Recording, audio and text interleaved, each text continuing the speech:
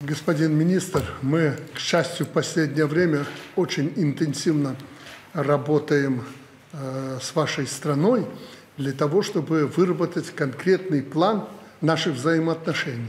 В ближайшее время я обязательно постараюсь у вас побывать, это уже у нас запланировано, но самое главное, чтобы мы имели четкое представление, э, как выстроить экономику торгово-экономические отношения между нашими странами.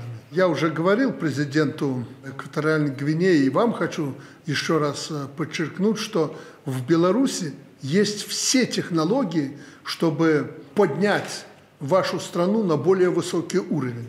Вы в этом очень заинтересованы, мы также. Суть наших э, предложений заключается в том, я также говорил во время визита президента вашего, вы это слышали, что мы готовы не только продавать вам продукцию, в которой вы нуждаетесь, мы готовы не только передавать вам технологии, но мы готовы обучить ваших людей работать в условиях этих технологий.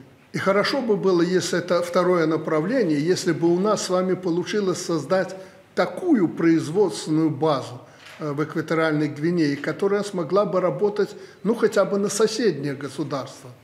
Поэтому я хотел бы, чтобы ваш визит э, в Беларусь нынешний был э, самым главным этапом в подготовке нашей встречи с вашим президентом в экваториальной Гвинее.